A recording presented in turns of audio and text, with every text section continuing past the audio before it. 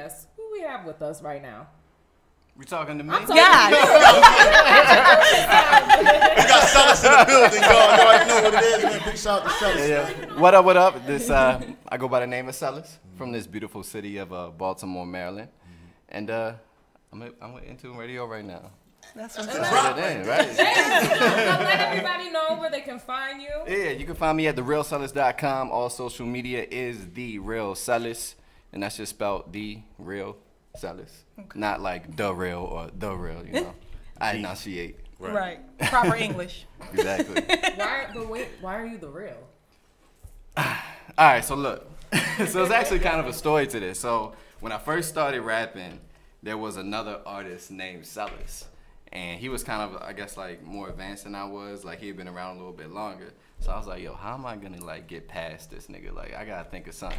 So I just made on my social media the real Cellis. And ever since then, he's been a fake Cellis. I like that. I like I like that. I like that. You gotta flip it on him real quick. The fake Cellis. Exactly. Man, Exactly. But for real though, man, it's Yes, definitely sir. good to have you in the building. I'm glad to be I'm here. saying? Absolutely, 100%. Yeah, yeah, yeah. So like, tell us how you got started in this music thing right here. Um, I think like when it goes back to poetry, I started writing poetry when I was in like the sixth grade, and then it just evolved from there. From poetry, I started doing spoken word in high school, and then as it I got out of high school, I just started rapping. And I was always a music head growing up, a huge hip hop head. So um, it was just kind of like a natural flow for me to go from poetry to spoken word to hip hop and rap. So Shit. The fuck? My man started from the bottom, now he here. So do, do you My- still I mean I know music is poetry, but Right, right. do you still just write just poems? I don't, I don't at all. Sorry, ladies, to you won't get me Valentine. you might get a Valentine's song, but I don't. You ain't getting no Valentine's poetry. And it's it's nothing like I still love poetry. I still fo- like I, I read a lot, and I still watch like spoken word and like shit like that. Um, I don't know. I just like when I write, I just write to write music. You know, Right. it's just that's like kind of what my focus has been since high school. Right. But your music sounds like poetry. Like your vocabulary, first Thank of you. all, is Thank like you very crazy. much. I appreciate that. that. Um, that song with uh, "Beautiful." That is a dope record. Yeah. That's Thank like Alicia. That's That's, not- that's like a sexy record. you That's know? unreleased. That- I have we haven't even released that yet. Oh, we uh, we finished that song just to bring it here tonight. So. Oh, Oh, thank you. Yeah, yeah, yeah. Exclusive shit as usual. But yeah, so uh, Exclusive we'll be shit. we'll be releasing that song. Hopefully, if things go right, um, and we get the backing that we want, hopefully next March. Okay. And it's gonna be the first single off the project that we're working for. So also a video probably. So- God dang. That's what's That's what's up. up. So I have a question. Do you really do you consider yourself a conscious rapper? Um, Or people just throw that label on you when they hear your music? I don't consider myself a conscious rapper. I think I'm just a conscious person, and it, it, it kind of portrays in my music. Because I mean, all my song isn't conscious. All my songs aren't conscious, Right. Mm-hmm. but you know, it kind of interweaves itself in my life. And um, you know, I you know I've been doing music for a little while, and I've grown up a bit since I first started. Like when I first started making music, nobody would consider me a conscious rapper. Right. You know, I was 18. Talking about fucking bitches and all the same shit that every Right. Did you bring any of that music here tonight? right. Ooh, ooh. I mean, beautiful. It's a couple. It's a couple lines that I slayed in the Right. beautiful. You know. No, I'm about to say I haven't heard anything of you talk about fucking bitches and all that stuff. I done heard all good, good, you know, good, Right, clean, right. you know. Oh no, it, it's there still. I got a couple lyrics. Uh, she like to ride my chin hair. I let her ride my chin hair. Okay, Right there. okay. Let's let Oh, I can't stop, yo. Get your girl, you Oh, know. hot in this motherfucker. it is already hot in this motherfucker. Yeah. Man, that's Can't what make it it is, too man. hot. For real though, man. You done done like you've been doing a lot of music and shit. And I know like it's a video that I checked out when I got put on to you. Yeah. And you know, I just want to commend you because in the video, like you reach somewhere where most rappers wouldn't go. Mm-hmm. You feel me? And that's the that's the freestyle joint you had with the two brothers With the in the back kissing yeah, in the back. yeah, You yeah. feel me? Absolutely. And like like what zone was you in to be like, yo, I'm doing this shit. I don't give a fuck what nobody say. Cause you, cause I like the fact that you bringing you bringing tolerance, bro. Right, right, You right. feel me? You you, you letting go fear mm-hmm. and all other bullshit that come with people judging. You know, the whole thing is the no judgments zone. Right, right. You feel me? Uh-huh. So like, where was you at in your mind? Like, yo, I'm gonna do this shit. I mean, that's exactly what you said. You hit it right on the head. It's, it's tolerance. It's like, at the end of the day, I wanted to make a video where, and then it wasn't necessarily just geared towards the gay community. It, it had to do with like racist people, whatever like discrimination anyone has towards anybody. Mm-hmm. I want people to know that motherfuckers could do exactly what they want to do, and it's not gonna affect me in any way. Right. Like these dudes could be making out, going at it behind me, and I'm gonna let That's them do them. them because it's not changing my life. It doesn't hurt me. It doesn't affect me. Facts. So and that and that that you know goes towards if you're Muslim or if you're black, like let motherfuckers be what they want to be as long as they're not hurting you, as long as they're not putting out negative energy. Right. Just let them you know go on that. And that's what I really wanted to to you know kind of expand out there because it's such a stigma on that Mm-hmm. in in not just rap but really in the black community. Facts. And I feel like that's something that's holding the black community down. That stigma that that people have against gay people. It's like and not just that, just like if you're different, if you, if you gotta be in a fucking box out here, Exactly. Right. in order to you know live comfortably, and it fucks me up. Like if a mm-hmm. motherfucker want to wear blue fucking socks all year round, that's Right. what he want to do. Exactly. He in his bag, living him. Right. It's making him feel good. So why should people be like, oh man, what the fuck is that? Or damn, why you look like this? Or damn, we red over here. You know, Right, goofy right. shit. I'm just throwing matter. You know, yeah, shit. for sure. I But would I'm- make fun of your goggles anyway. Let him be great. Let him make. Don't Let him switch. 90s hip hop. Let him rock his 90s hip hop. Okay. Don't switch up because my man in the building. Shit Right, gonna because she was she was dragging Yeah, him was when we first there. came in. And that's what I was. Damn. She was like, "I'm blind from your goggles." That's where a lot. Of, but you know, that's where a lot of conflict come in at because we're judgmental all the time versus. Right. Let the motherfucker flourish. You that. know? Right. And I want to thank you for bringing that to the game, man. Let Thank you. motherfuckers live, you know what I mean, and Sure. flourish, man. Because I appreciate it. Thank I'm you. gonna let you flourish. Thank you. Thank you. Let me For shine, let me noticing. shine Shine down, man. With it, man. so, as far as your performances, like, Mm-hmm. where can we see you perform? Because I've never seen you perform, and I actually want to. Where do I perform? Yeah. Anywhere like- that fucking pays me. All right, so you, so you definitely like, yeah, Check, check, you check, check on Right. deck Yeah, for you even. because you know, I, like I said, I've been doing it for a little time now. You know, I I done the Crown and I done Ottobar and I done Eight by Ten. I Okay. done all the, you know, I've been Yeah. through that. You know, and like.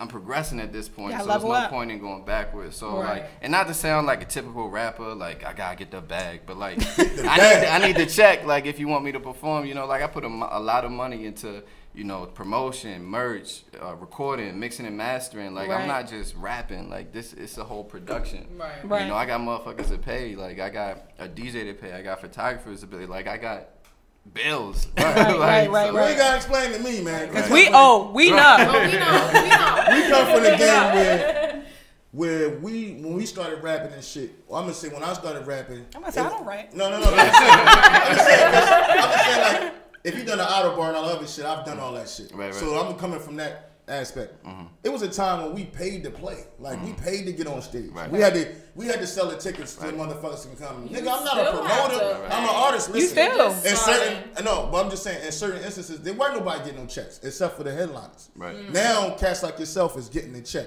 You feel me? And that's what I respect about the new the new wave, like Prophet said in, in the city, is that these kids coming out like, yo, pay me. I'm not showing up to a birthday party, nothing. Yo, But niggas- then, then again, you gotta put in the groundwork to get No, no, no, paid. I Like, understand. you Right, can't right, just right, come right. out- Just come out the gate. Followers talking about, "Cut me a bag, Like, cut where my check, bro? Right, Right, right, right. I'm not saying that, bro. I'm saying like people who put in the work and know their worth. Like it's all about knowing your worth, and Right. the fact that you know your worth is fucking everything. You know what I mean? for Ain't no discrepancy when my man asks for his money. He, he know what he worth. Give him what the fuck he worth. Real shit. Facts. So we had a little conversation before this interview. I've been you- waiting for this. Wait, no, it might not be what you think. We're gonna talk first about you know when you were talking about what type of rapper you are. Okay, like got you, got Dad you. rap. Dad rap, What yeah. is dad rap? So basically, I feel like there's this category of, I guess, like the refined hip hop artist that's a little bit older and like not even necessarily older, but but has a Seasoned. kid Little or, seasoned. But not even that, but like you have a kid or you have children. And it just it just forces you to think differently. Right. Like Right. like when I think about kid, like artists that have kids, like like we talked about Mm-hmm. um, with like Dave East and even um, Jordan Lucas with the artists that we talk about. And we we gonna get into that. A little debate. Right. But go ahead. But there's a little bit more maturity that comes with that, like, cause you realize that like it's other people out here that you gotta care about and that you gotta mm-hmm. take care of before you have kids and before you learn those lessons. Like it's all about you at the end of the day. So that's what you gotta rap about, just you. Right. So it just dad rap is, I guess, like a refined expanded like thought process. Okay. Is, is probably the best definition. So could give does your child listen to your music? it. Hell yeah. What what's the feedback? She be uh Because we're, you know, we never cool to our kids. We're never cool to our kids. Well. I mean, so I got like three tracks that she's on. Like she has a little snippet, so she loves those songs. but then other songs, she's like, "Daddy, I don't know about this one." I'm like, "You listen to Taylor Swift? Get out of here." Yeah, she, Taylor Swift is trash. I don't like. But my, my daughter is very critical.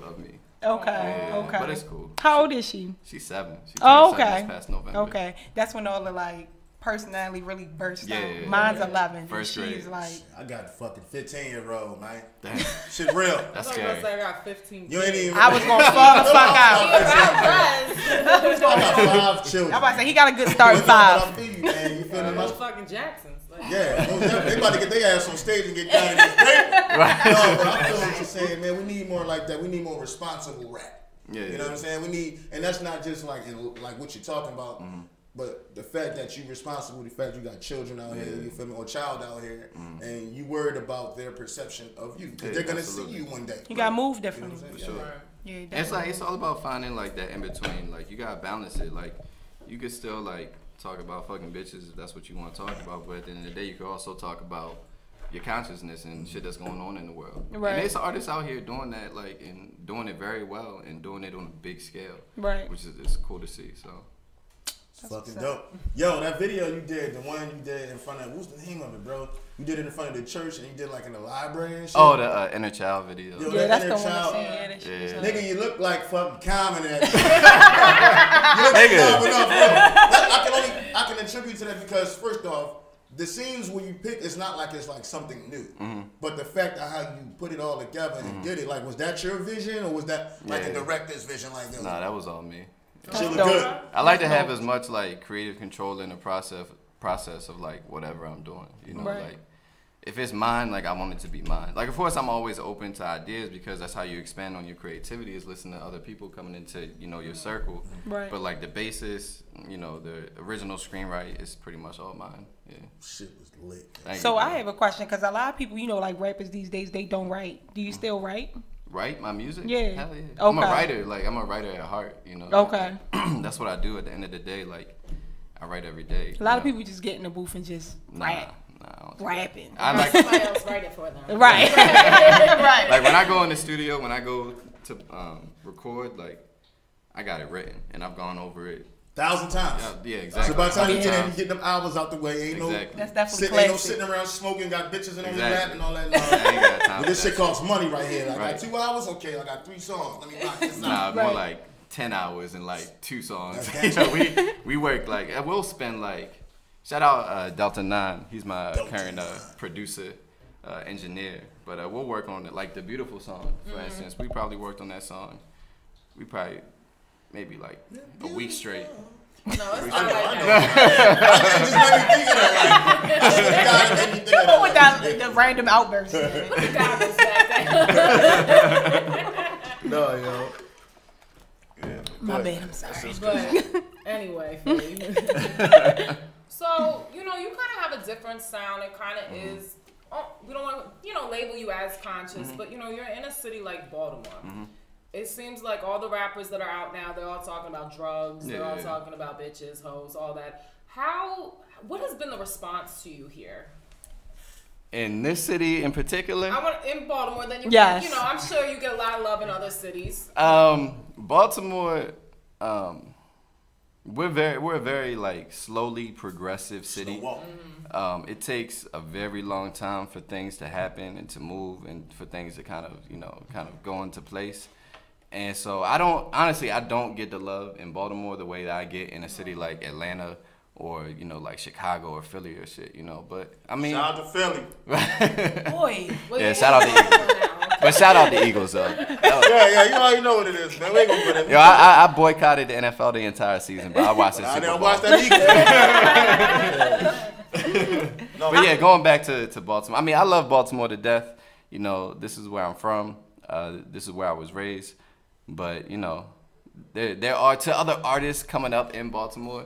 There are other cities to kind of like reach out and expand to. Because the point I always always make to people is we are a city of almost seven hundred thousand people. Like we're a major city, and we've never had an artist reach like a mainstream like like source the way other cities have. Like like Chicago and Atlanta and New York Right. and LA. They We- just churn out We've fucking had R and B singers do Yeah, it. but not. But Yeah. still It's not still not even. as big. Like Yeah, where's yeah. Dru Hill today? Right. Oh, they on tour and they got millions. They just dropped a Christmas Right, album. but they had I that time. They do are, but at one point, so they. I fucking love Dru Hill. They was on Def Jam, so it's not. They had a. No, I'm saying, but they're- they really still relevant now? Yes, they are. I mean, they you, not- You just not- not a fan of them no more. But years them niggas got a fan. I'm about to say, I still got Dru Hill I shit in my. Apple Music. Yeah, It's tell on the. me. They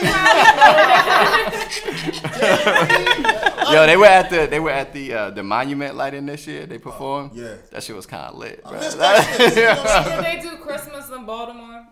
I was kind of lit, so I don't really remember. that. These other niggas shook their ass for that cash. You I'm no, man, but like for real, Cellis, man. What's up, bro? you- Like, do you get like that? uh because of your appearance, Mm-hmm. like you appear like the studious, smarty arty ass Yeah.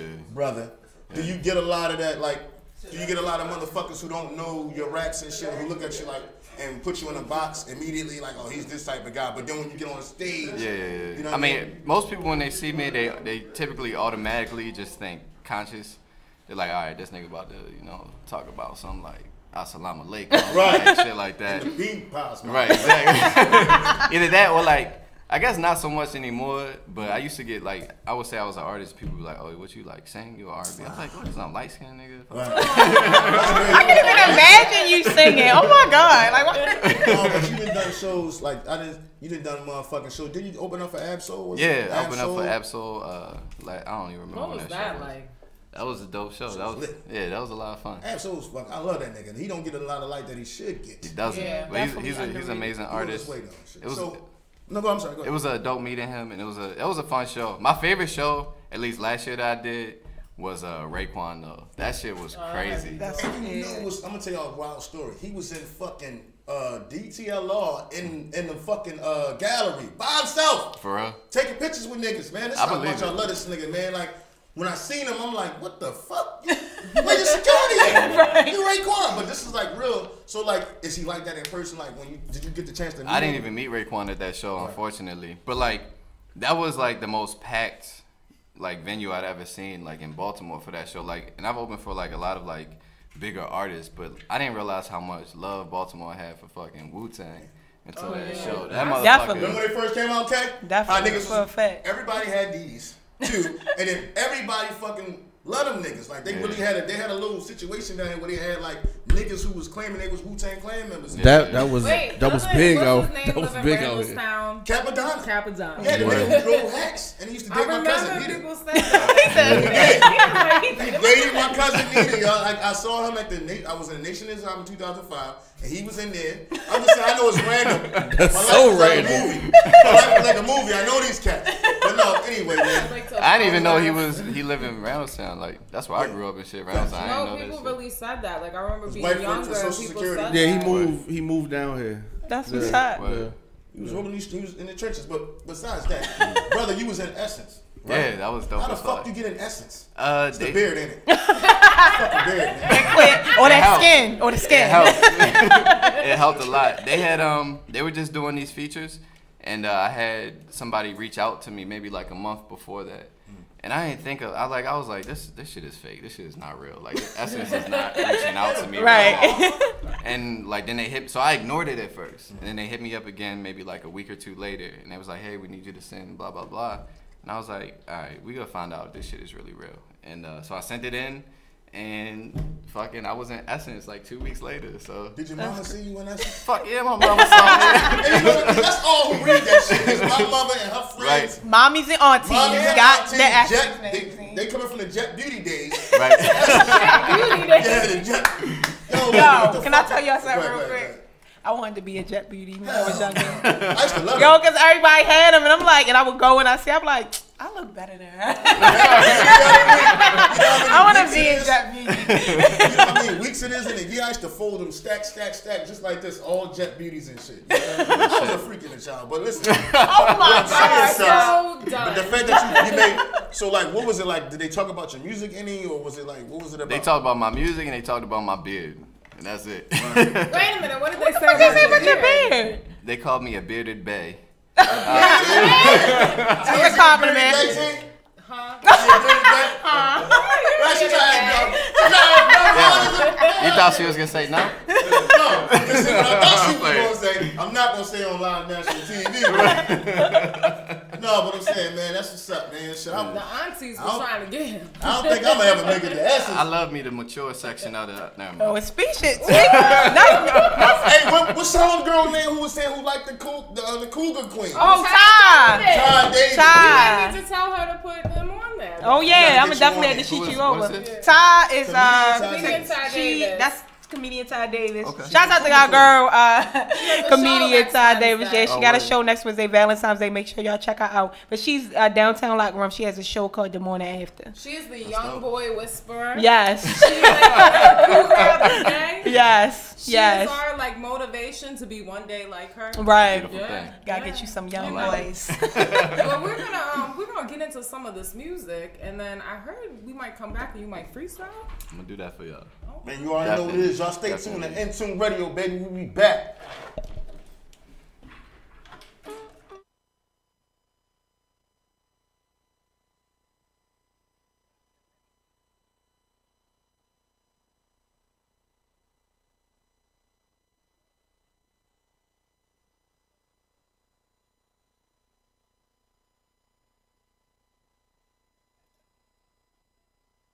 I'm about to get it.